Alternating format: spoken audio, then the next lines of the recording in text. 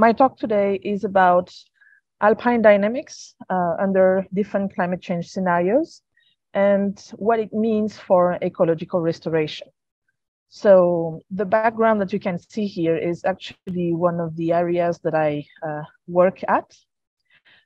So this is the Andean Paramo in the tropical alpine Andes in, in Colombia. And you can see that it's quite a unique ecosystem. Um, it's a landscape that is dominated by grasses, but at the same time, it has a very strong presence of giant rosette species that are asteraceae. And it's quite extreme conditions in terms of uh, soils and especially climates. I'm trying to, yeah.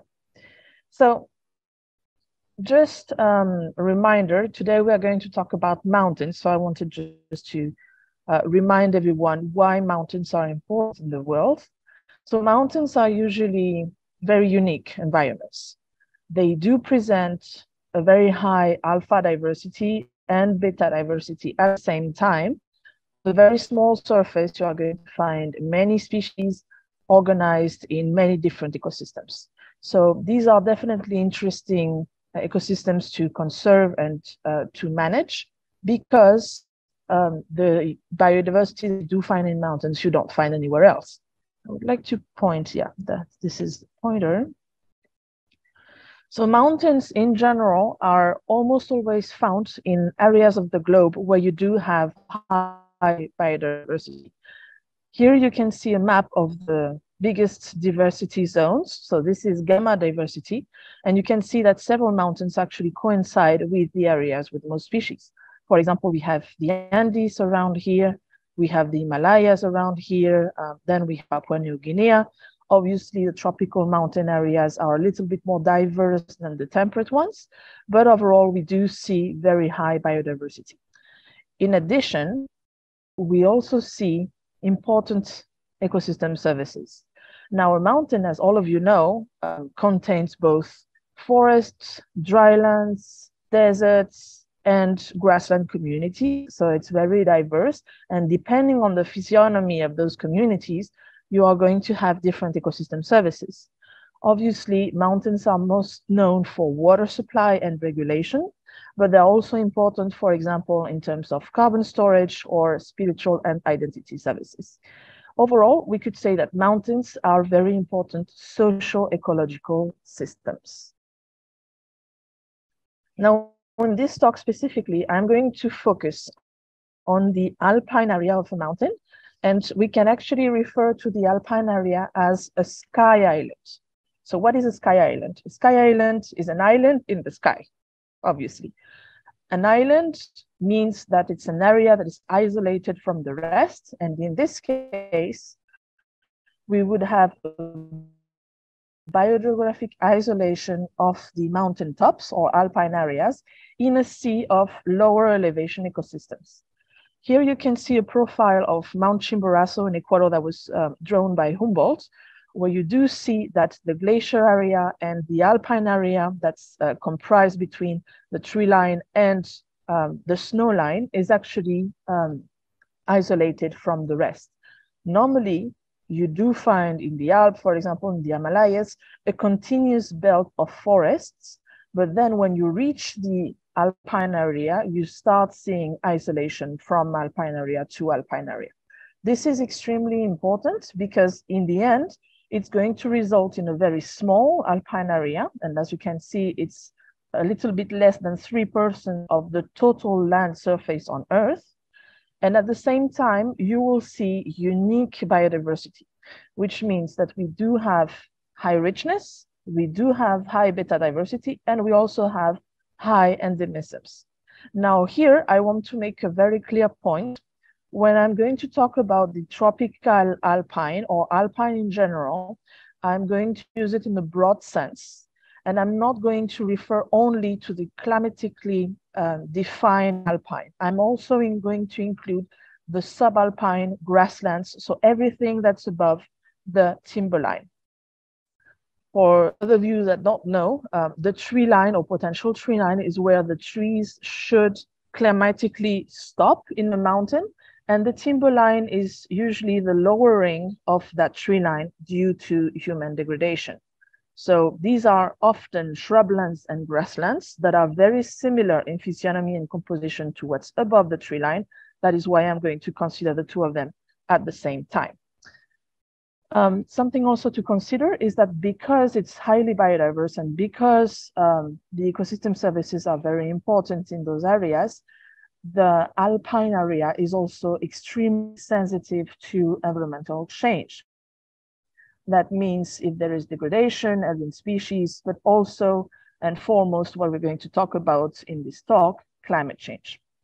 So this is the Chimborazo mountain, and I wanted to show you what the Chimborazo mountain looks like in real life.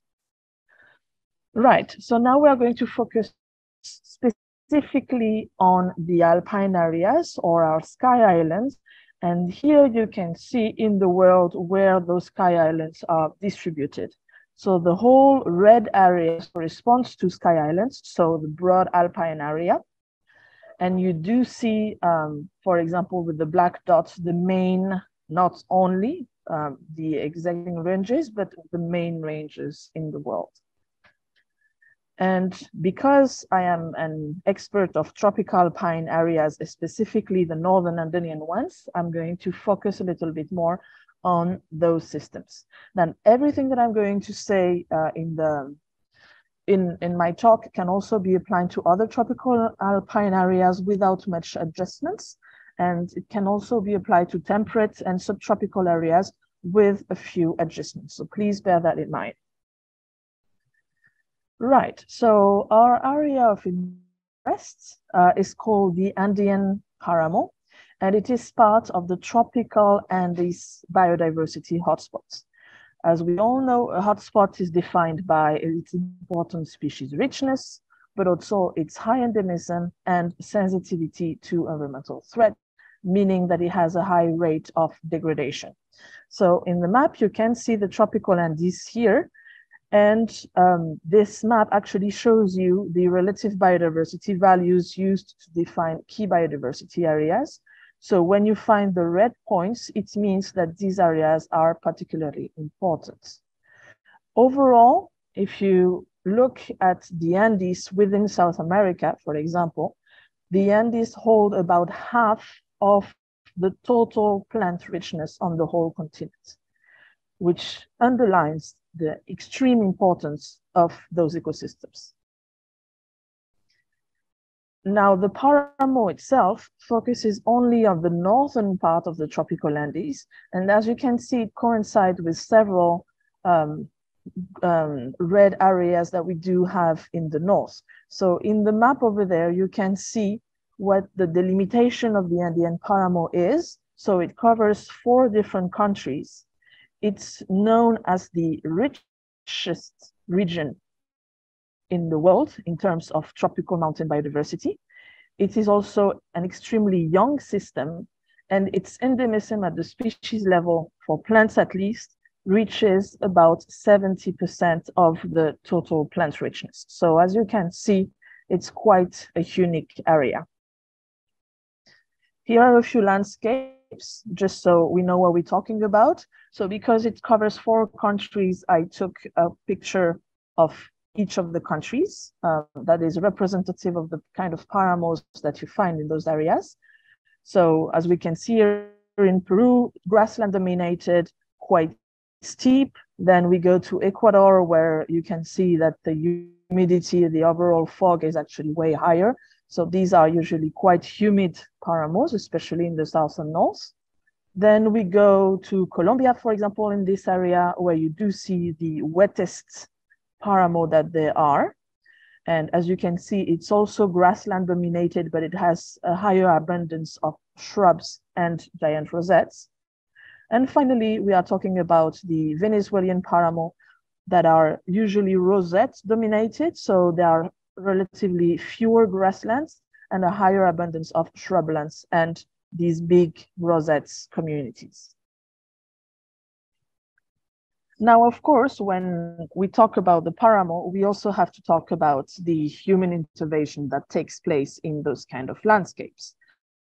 So contrarily to other mountain and especially alpine environments, the northern Andes are not that degraded.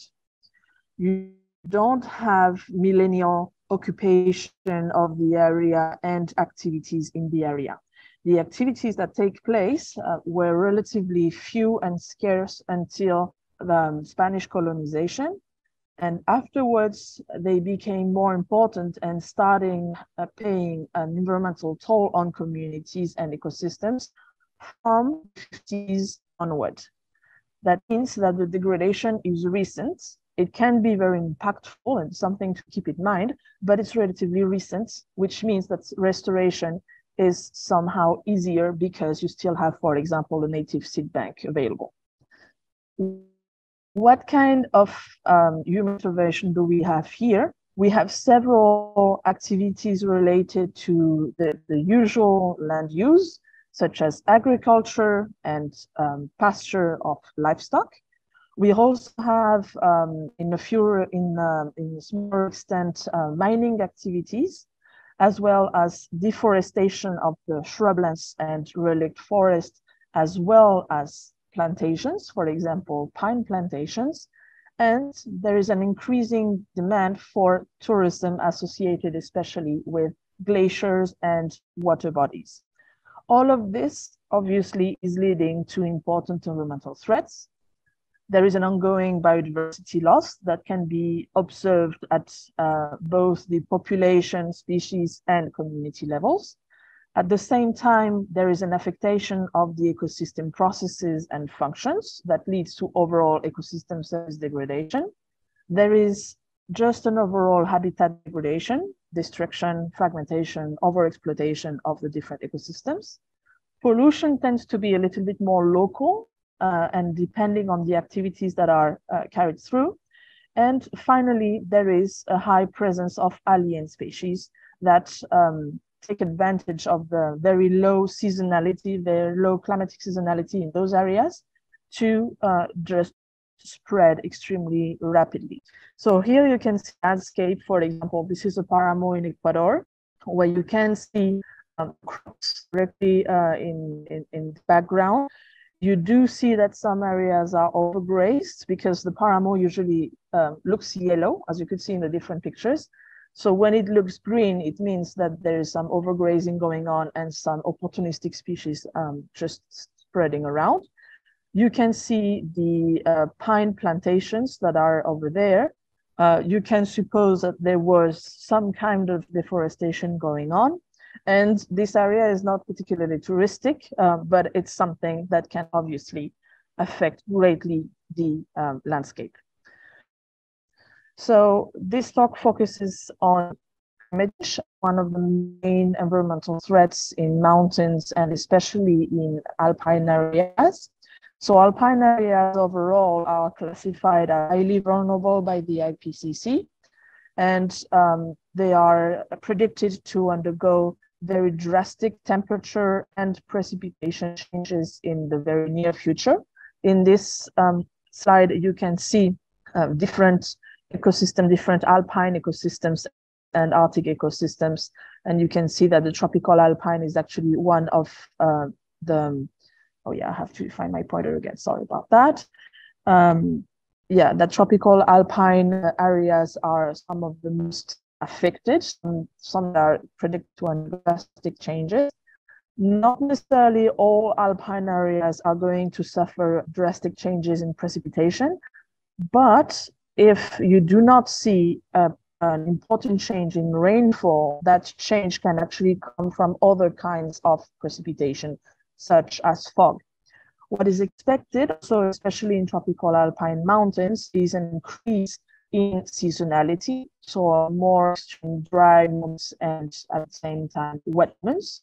And all of this obviously is combined with important glacial retreat and um, a change in duration of the snow cover in temperate areas. What kind of impacts can we expect from climate change in alpine areas overall? Right, so we were talking about the biotic responses to climate change and what to expect in alpine areas. So we have several types of responses. At the individual and population level, what is most common, obviously, is first to undergo a tolerance uh, phase. And this can lead to short-term acclimatation and long-term adaptation to climate change. In other words, it means that the individual is going to adapt to changing conditions, and those adaptations can um, main, be maintained in um, over over different generations. So this is what I'm showing you here. This is an example of the um, of an heat wave tolerance um, studies that shows how species are actually able to um, survive a heat wave and how they respond to it be, be, before any future climate change scenario and under a climate change scenario. What can also happen is distribution shifts. So it's very common to look at the species level and not only see what kind of adaptation is going on, but also if the species is able to move and actually tracks the isotherms. So it's something that I'm currently working on a lot and it shows how the whole populations of each species can actually go up in the mountain or go at least sideways. Here you can see this is a study in the Australian Alps that there is, for example, um, a, an important uh, shift in uh, distribution of the alpine species upslope, but also downslope in some cases, because some species are going to track perhaps different kind of climatic conditions. Then we obviously have another level, which is the community level. So when we put all species together and we account for the adaptation and migration capacity, we end up with a change in community composition and community richness. All of this data that I'm showing you is past, recent past data. It comes from different monitoring initiatives. So it's something that's already happening. I'm not even talking about predictions yet. So in this case, um, it shows on different European summits what is supposed to happen. And um, as we can see over the last century, there's been an increase in species richness that is related to the warming occurring on these areas. Then, as I previously mentioned, uh, we do have certain recomposition going on. So the community is going to undergo important changes in species composition. Some are going to come, some are going to go, and all of this is going to create novel ecosystems. The issue here is that it's not only a recomposition of native species, but you can obviously expect alien species coming up from lower elevations and just mixing and developing new ecological networks with the existing species. So here I'm showing you uh, what's happening on, on different Gloria sites and how you can, um, as you can see, there is a change uh, of um, 20 years between 94 and 2014, where you do see changes in species richness, but also the amount of colonization and the amount of decolonization happening over that time span. And something that I would like to insist on that is extremely important for management is the lags. All of these responses occur, but they just occur at different time scales. So it's very important when you want to manage something to know how fast each of, each of these responses are occurring, how they are overlapping, and how to quantify the lags. This allows you to anticipate future changes. So this is a very simplified figures that only shows you the three main lags that you can expect. First, there is a lag in dispersal, so that would affect the species and community levels especially. Then there is a lag in establishment, so the species can um, appear somewhere, but it, that doesn't mean that it's going to establish right away. There might be a latent times. And then finally, there is an extinction lag. And this lags depends on the tolerance and the adaptation capacity of the species, but also the strengths of the biotic interactions in the community. Right, so now that we talked a little bit about what has happened so far, I want to get into more details about predictions because the idea is not only to see what already has happened, but to anticipate change to better manage biodiversity in those areas. So if we look at um, a population within a species, it has different features, obviously its growth rate, its reproduction rate, its migration rate, that are going to affect its different responses, both in terms of adaptation and migration. So what could we expect from a given species? If the species has good um, adaptation capacity, but it doesn't have any migration capacity, it will probably crush over time because the climate is going to change and it will adapt and it will stretch as much as it can, but it cannot exactly follow the other isotherms. So it is going to reduce its population. As you can see here, you have a difference between the gray and the green. The gray is past conditions and the green is future conditions. And it's what uh, is supposed to be expected uh, from the species as an, a biological response. So in this case, the species persists, but obviously it's losing a lot of fitness and it's not in its optimal conditions. Then we have the case of a species that is able to migrate, but that doesn't necessarily have very good adaptation capacity. In this case, you can see that the gray is left behind and the green is actually moving forward. This means that the species is going to follow the isotherms, but it's not going to remain where it was originally. The best case scenario, and it's obviously, obviously the case of many alien species, we have an expansion. That's when the species is able both to migrate and adapt to new conditions. So it is going to maintain its current distribution range, and at the same time is going also to move and track the isotherms. Finally, if the species isn't able to adapt and isn't able to migrate, obviously it's going to go extirpated from the area, so local extinction. And on the longer term, and especially if it's an endemic species, it could actually go extinct.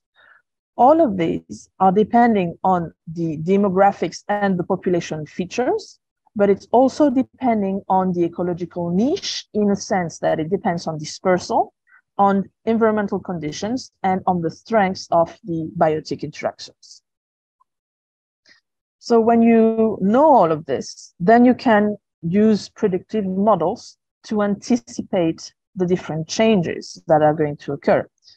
In my case, because I work a lot with uh, migration and changes in community composition, I'm going to focus on the dispersal and the migration aspect of the response. So I'm not going to tackle here the adaptation capacity, but keep in mind that it's always something that you should include in any management strategy, obviously. So here I'm just showing you an example of uh, a very recent study that we did in the tropical alpine area, where we do see the glacial retreat. So as you can see, you have the glacial here on this map, and then you have the deglaciation zones. So zone one would be very close to the glacier. It's recently deglaciated, while zone five, for example, it has um, a more historic de um, uh, deglaciation. So in this case, what we did, and that's what I'm showing in this picture here, is the changes in the community composition that depends on the movement of each of the populations. So we looked at the different zones and actually predicted how the population would actually change uh, spatially over time because those kind of deglaciation areas are actually excellent study cases for um, space for time substitution. It means that on a very short scale, it's actually showing you what could happen in the future. Here we have another example um, that targets the species level. So if we move from the population level and scale it up to the species, we can predict the changes using species distribution models. And I'm sure that most of you are very familiar with this technique. What you do is you correlate the occurrence and absence points of a species in the landscape with environmental features. And using different climate change scenarios, you can then predict how the distribution of the species is going to change. But something that I want to make extremely clear at this point is that a regular species distribution model gives you that kind of results. Those results are only correlating the species with the environment. And obviously, it's flawed. I mean, it has some meaning, but it's not enough. What you need to add on top of this is species interactions and dispersal capacity. If you don't do that, you are most likely going to overpredict what is going on. And this is important for temperate mountains, but it's especially important for tropical mountains where you do not have that many um, changes in climatic conditions over a large latitudinal gradient, for example. So this is an example of the Paramo area uh, in the tropical alpine Andes. And we are comparing here the potential distribution of the species, so just regular species distribution model, and a new methodological advancement that would be B, in which we actually constrain the distribution of the species, including for dispersal and including for um, biotic interactions in, in the sense that we are doing joint SDMs, joint species distribution models. Once you have those very fine models, what you can do is track the progress of the species in the landscape depending on the different climate change scenarios. And here I want to show you a few examples of how you can actually improve your modeling capacity, including for the interactions and the dispersal capacity of species. So here we have three species that um, are distributed in the Ecuadorian Paramo. And we are predicting their changes between 2010 and 2000 and the end of the century. We have different scenarios here. First, let's focus on Gentianella hirculus. We do see a map that's all gray with um, a little yellow here and there. The little yellow is actually referring to the area that is predicted to be lost in the future. In this case, the species doesn't have any other color on the map, and that's um, and and and that's that's obviously a big problem because it means that it will very likely go extinct over this period of time. Now, careful, we are not accounting for adaptation capacities, so we might be um, over predicting extinctions, but still, it is extremely worrisome. Then we have the second case scenario. Let's look at the species in the middle, Geranium sibbaldioides. And this one, as you can see, has plenty of colors.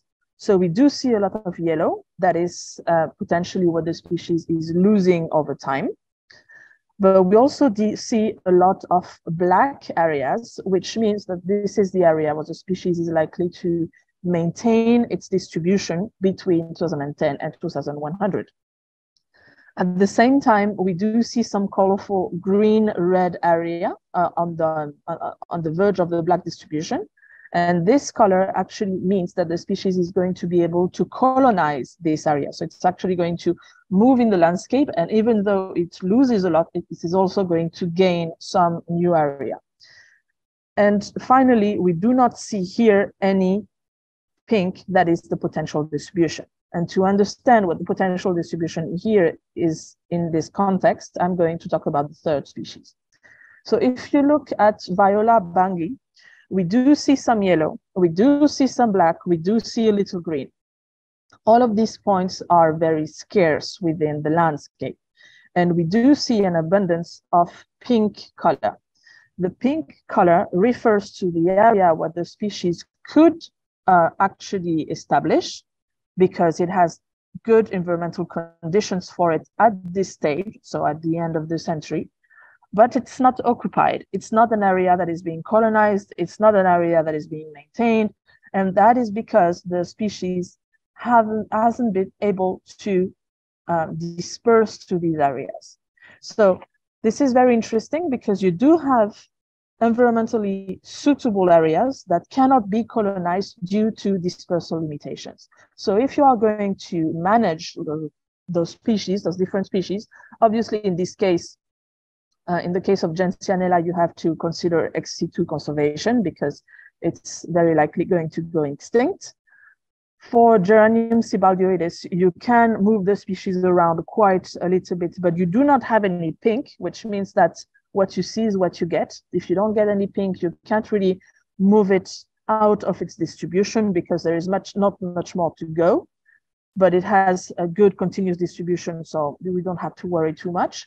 And when you look at viola, then this one is obviously a tougher case because you could move it to the pink area, but it cannot move by itself. Scaling up all of this, then you can predict what is going to happen, putting all the species together. And this is the kind of maps that you obtain where you do see where you have species losses and species gains in such a region. So we are again focusing on the Paramo. And what we are seeing here is um, that you have some very clear uplof, up, upslope shift in distribution for the species. So for example, the red area means that this area is going to lose alpine species and the blue area means that it's going to gain alpine species. This is only alpine species, which means that obviously, you know, forest species can actually come up in elevation and fill in these new gaps left in the red area. But it is, it is very interesting because it means that what we already see in terms of um, uh, increase of species richness on mountaintops is going to continue and the models is, are also predicting the same thing. So we are going to see richness gains in the upper parts of the mountains and the richness losses of alpine species in the lower parts. This is a little bit worrisome, obviously, because these very important richness gains that happen uh, in at high elevations are going to uh, be made to the detriment of the native species that are adapted to these very, very specific conditions. And it can also mean that there will be an uprise in the alien species that will complement these new ecosystems. This is a little map. I'm not going to spend too much time on it, but I think it's also important to take into account uh, for management. When you look at um, recent distribution changes, I think it is primordial to not only look at those changes on the very short term, but also see if the species that you see actually remain within their past climatic refugia. That means that the species, for example, during the last glaciation, so the last glacial maximum 20,000 uh, years ago, were already most likely distributed in the same area and are maintaining their distribution within this climatic refugia. If the species is actually able to stay in the same place for about 20,000 years, it obviously means that there is an importance in protecting this specific area where you do have environmental stability, hence um, species remaining there for a long time. If, on the contrary, you have species that are coming out of their refugia all the time and they are just moving around, it probably means that these species are have to rely on their migration capacity, but that there is little room for adaptation. So in this case, what I'm showing on this map is areas, for example, in the dark green, where you do have a lot of refugia. And that means where the species are actually staying within their comfort zone over the long term. And finally, I'm going to talk briefly about the community level. So we already saw that there was some potential increase in species richness towards higher elevations. But then we could also look at the community itself and see if there is any um, change that is supposed to be underway. So something very important when you do a community model, you could do it in different ways before um, i mean in recent decades when people were doing community models what they did was treat a community as a species or as a unit and same as a species distribution model they would relate they would correlate the, the distribution of the community or ecosystem to specific environmental features and then predict changes in those features in, in those features hence communities over time this is an example in Catalonia where you do see the shrinkage of this um, meadow community in the alpine area. Now, I want you to be very, very careful with this. And instead of just treating a community as a species, it makes sense to include all of the species in the community, see how they ind independently react to climate change. And then on top of this, I expect to add different constraints that are actually going to form back communities. So it's not only predicting the species and putting them together, but it's adding new constraints, for example, richness constraints and assembly rules. So in this case, you are putting again the dispersal capacity, the species interactions on top of your individual models, and you are constraining the whole thing by the assembly rules and the macroecological constraints or richness constraints. And this gives you this kind of results. So this is an example in Ecuador where we can see the different sky islands here uh, of the very highermost communities in the Ecuadorian mountains.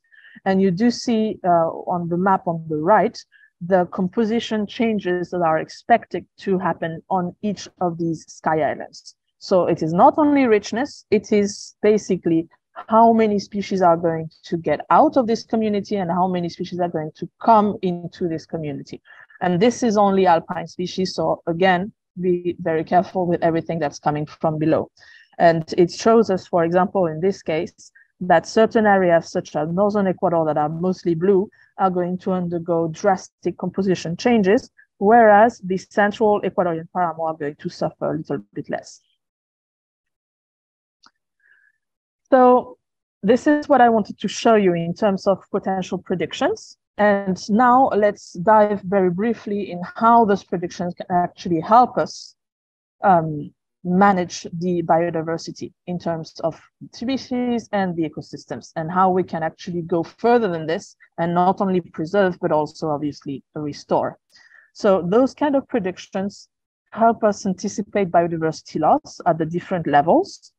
It shows us which species or which ecosystems are priority which ones are actually deserving of urgent management strategies and which ones are actually able to withstand a little bit more. It can also help predict novel threats. And I'm putting on this picture, uh, um, the, this is actually on the post-glacial chronosequence that I showed you before in, in the tropical alpine uh, paramo, where we do see the glacier addressed right over there. And we do see that the first species colonizing is actually an invasive species. So you can use those kind of models at the different uh, stage or scales or whatever you think is it worth applying it to, to see how invasive species are actually going to migrate also in the landscape. And obviously, the good thing is whenever you predict uh, climate change impacts, then you can include that into your protected area management because you do have an idea of the gradients that you have to cover in the landscape to make sure that you keep your conservation goals. Now, for restoration itself, um, we can look at it from different standpoints. So, as we all know, when we look at restoration, we need a reference state. But the problem is, when we are talking about climate change, it's very difficult to actually identify that reference state. Are we supposed to stay things um, to to expect things to remain the same, or are we supposed to change over time, what would be the reference state under a climate change scenario? It's something that needs to be accounted for because restoration is usually a long-term process. And of course, if we are looking at it uh, over a few years, then, you know, we could probably say climate change is not going to have such an important impact. But if we are looking at the effects of restoration on the longer term, then definitely we have to incorporate this aspect, even if it's only a decade. So in this case, those kind of predictions can actually help you simulate biodiversity scenarios. So we are going to define the reference state that we want in the future, depending on the different models, again, at the different scales. And then we have actually a target to move towards to. At the same time, it gives us uh, some very uh, important insight on the ecological strategy that we could follow. Because we have to define what we are aiming towards, but we also have to define how to get there. And using those kind of models, you can actually simulate different kind of responses with or without different treatments. And something else that is also very key is that those kind of models can help you promote the use of different native species for your different restoration endeavors. For example, it can tell you which pioneer species to use and what its response is going to be. using this pioneer species, for example, to start an early restoration, then you can build your community around it. You could favor keystone native species, and you could also help the vulnerable species that are predicted to go extirpated or locally extinct on the short to mid term. And um, I think I don't have that much time, unfortunately, so I'm going to skip my example. Sorry about that. And I'm going to go directly to the last slide um, that goes into a little bit of more depth regarding the restoration options, building on the novel techniques that are now available to us in terms of ecological modeling. So the new models that are getting developed today and that will be extremely insightful for restoration are going to be an integration of not only the structure, so the biodiversity levels in the classical sense, but also the functional diversity and the processes that are associated to that.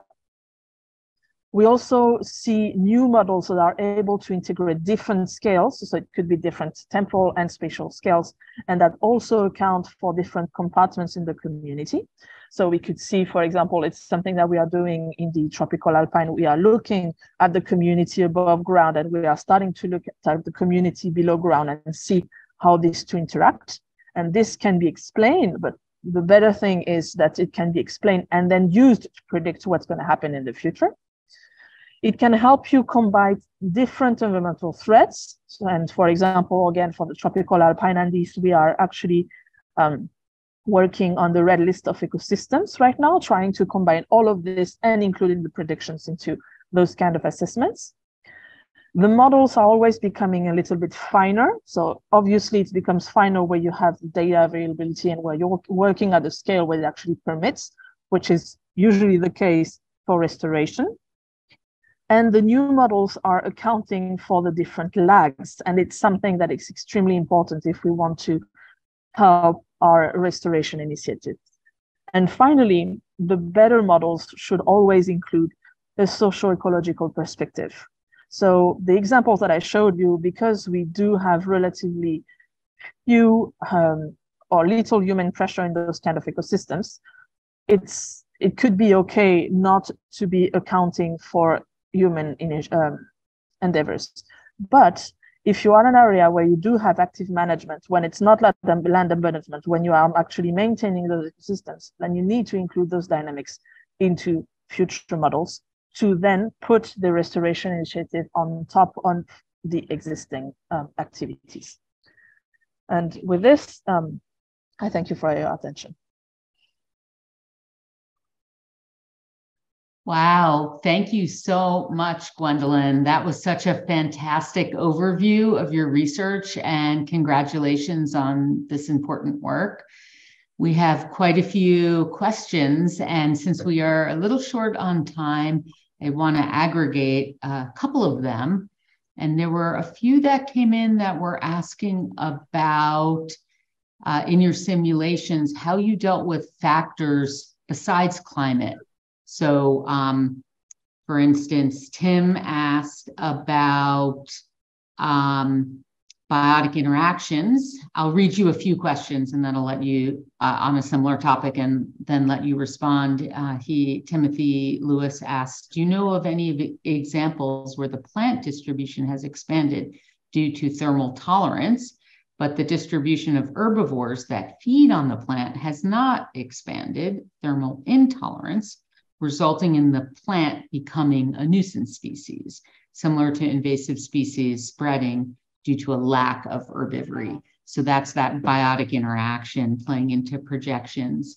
Um, and then Angie Arau asked, did the species distribution models in your uh, paper account for current and potential future land use, human disturbance?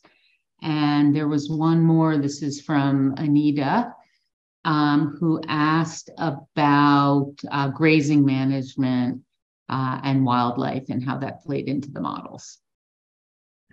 Okay, so I'm just going to go over the first question. Um, about biotic interactions, you can actually include biotic uh, uh, interactions in, in your models, but you can do it different ways. You can add it on top of the model as a constraint. So you can, for example, first predict the distribution change in the species, and then on top of it, put the co-occurrence patterns to actually see and constrain the distribution of the species depending on the second species. Or what you can do, and what most people do these days, is do a joint distribution models. So you actually weigh your distribution model depending on the other species when you are actually doing the model. So it allows for much finer prediction of what's happening. And it can include trends that are going the same way or the opposite way. So you could actually have some species that increase the distribution and that are being weighted down by the others that do not increase the distribution or even reduce them. So there are several techniques to do that. And depending on the scale of your model, if it's a fine population model, or if it's a species model, or if it's a community model, then you can add those weights in different ways. But yeah, you most certainly want to do that to make sure that you have a more realistic overview of what's going on. Second question about the land use. So in this, in the cases that I showed you, um, and I'm sorry if I was rushing uh, a little bit in the end, I did not include land use directly into those models. And I did not include land use uh, because I didn't have any land use model at uh, my disposal at this point. I still don't, but I'm working on it uh, currently to make sure that I can actually not only predict how the species disperse depending on the environmental features. So you could just put a land cover uh, below your distribution, for example, that would already help. But the problem is um, you need a dynamic land cover and not a static land cover.